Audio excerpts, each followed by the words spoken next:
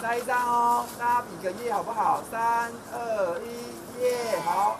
和参加营队的小朋友开心合照。前总统马英九卸任后和学生互动不少，不是到大学演讲谈两岸国际，就是到国中小推广中华文化。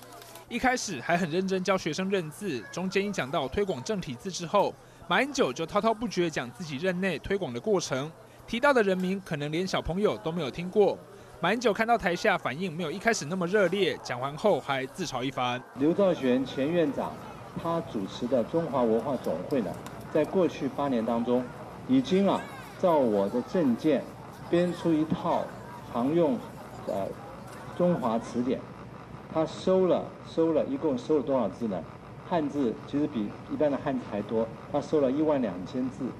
词条的话超过十万条，这这个词典呢就有五千页之多。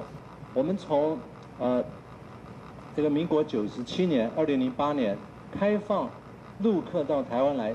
累积下来的人数啊，人数已经超过一千五百万人了。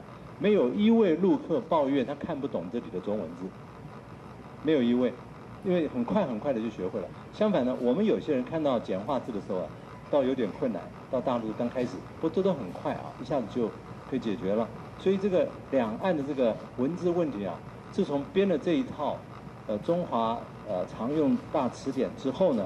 问题应该可以说越来越小。我知道我讲了半天，小朋友都没听懂啊，没有 没有关系，留下记录，以后你慢慢就懂了。